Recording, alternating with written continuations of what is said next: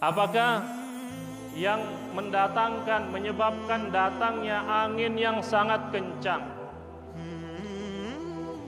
Yang meniup kaum Nabi Hud alaihi salam kaum Ad.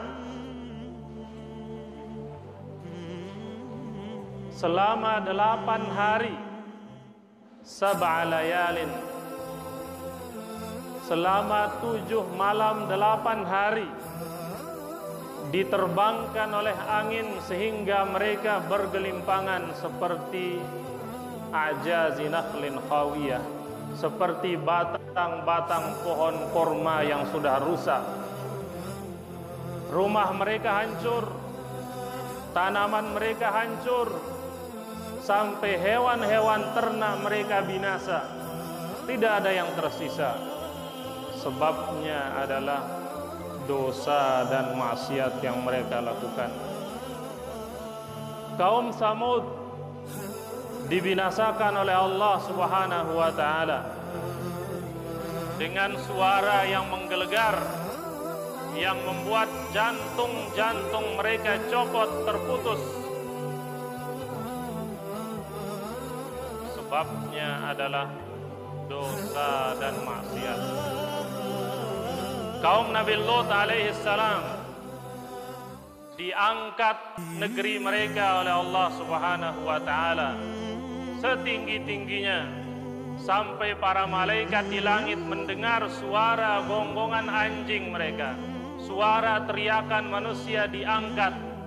Lalu kemudian bumi yang diangkat oleh Allah Subhanahu wa taala negeri mereka yang diangkat dibalikkan oleh Allah sehingga mereka berjatuhan ditambah lagi dilempari dengan batu dari batu yang panas. Kaum Nabi Lut yang menjadi pelajaran bagi manusia hingga saat ini. Sebabnya juga adalah perbuatan dosa dan maksiat. Kaum Nabi Shu'aib alaihi salam didatangkan azab kepada mereka didahului dengan kemarau yang panjang. Kemudian datang awan yang orang kira awan ini akan mendatangkan hujan tapi malah justru mengeluarkan api yang membakar mereka. Bumi bergoncang suara menggelegar ditambah api yang datang dari atas mereka menghanguskan menghabiskan orang-orang Madian kaum Nabi Shu'aib alaihi salatu wassalam Fir'aun tenggelam ke dalam laut. Apakah yang menyebabkan dia ditenggelamkan ke dalam laut? Beserta pasukan-pasukannya.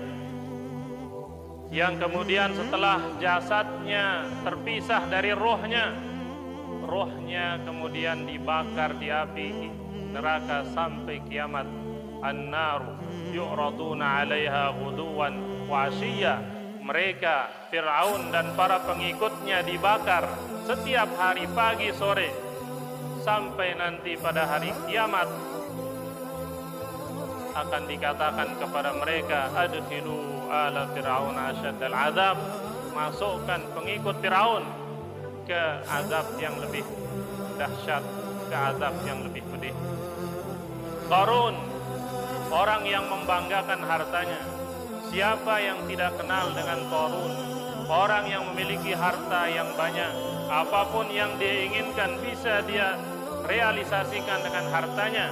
Tapi Allah Subhanahu wa taala benamkan dia ke dalam tanah beserta rumah, keluarga dan anak-anak buahnya, pekerja-pekerjanya yang membantu dia, membantu usahanya terbenam di dalam bumi dibenamkan oleh Rabbul Alamin pemilik bumi Allah Subhanahu wa taala.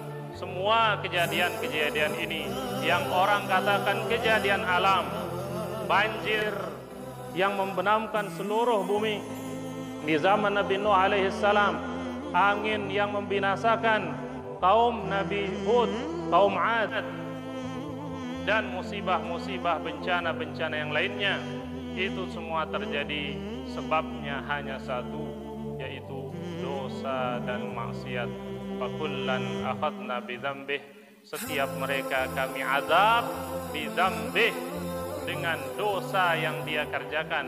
Faminhum man arsalna alaihi hasiba. Di antara mereka ada yang kami utuskan kepada mereka batu yang panas api.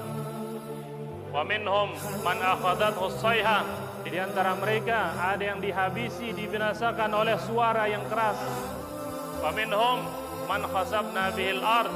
Di antara mereka ada yang kami benamkan ke bumi. Wa minhum man aghraqna. Di antara mereka ada yang kami tenggelamkan dengan air. Wa ma kana Allah liyadhlimahum. Allah tidaklah menzalimi mereka walakin kanu anfusahum yadhlimun tapi mereka lah yang menzalimi